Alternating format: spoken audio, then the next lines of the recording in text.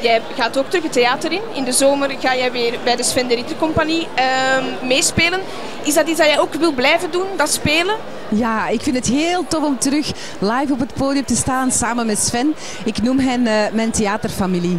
Dat is echt, ik, dat is altijd thuiskomen, dus daar kijk ik enorm naar uit. We gaan een hele maand juni repeteren en dan een hele zomer in de Elkerlik vertoeven. Dat is een keer iets anders, nog nooit gedaan. En wat doe jij daar buiten? Want ik heb altijd de indruk dat jij altijd heel veel aan het doen bent. Wat doe jij daar buiten nog? Ja, ik, ik zet me nog altijd heel hard in, ook voor UNICEF, het Kinderrechtcommissariaat en het Kinderarmoedefonds. Dus daar ben ik ook wel heel betrokken en doe ik heel veel achter de schermen. En uh, een tv-programma vraagt ook heel veel voorbereiding. Ik ben erbij van bij de research tot en met de montage. Dus uh, ik verveel me niet. Komt er dan een vierde seizoen van Zorgen voor Mama? Ah wel, ik hoop het.